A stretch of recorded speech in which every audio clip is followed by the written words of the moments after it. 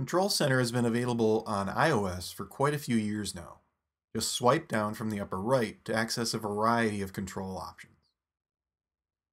In macOS Big Sur, Control Center resides in the upper right of the menu bar.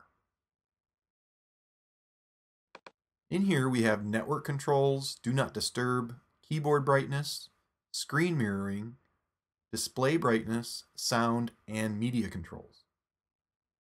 Click on each one of these for more options within it.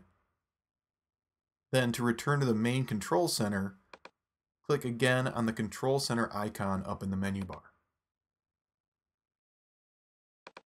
For easier access to any of these controls, we can just click and drag them individually onto the menu bar. I'm going to add the display controls to my menu bar.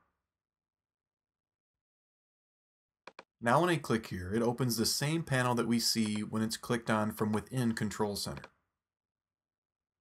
Also notice that these display controls aren't removed from Control Center. As of now, there's no way to fully remove items from Control Center we can only move the ones that we want onto the menu bar.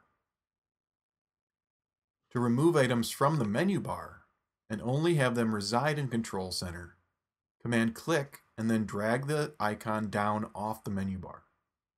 When you see the little X next to the icon, you can release and it'll go away. I can do that with both the display and sound controls.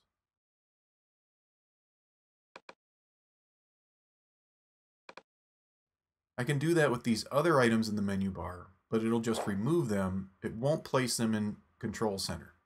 After removing the Time Machine item, to get it back, I need to go back into the Time Machine Preferences and click the checkbox to have it reside in the menu bar.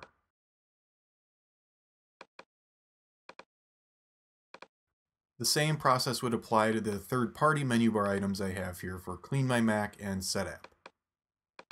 I'm not sure if we'll eventually be able to include third-party controls like these in the Mac Control Center.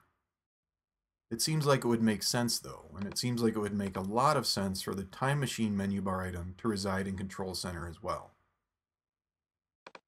So to sum up, every item in the new Control Center can be kept either only here in Control Center or in both Control Center and in the menu bar as an individual item.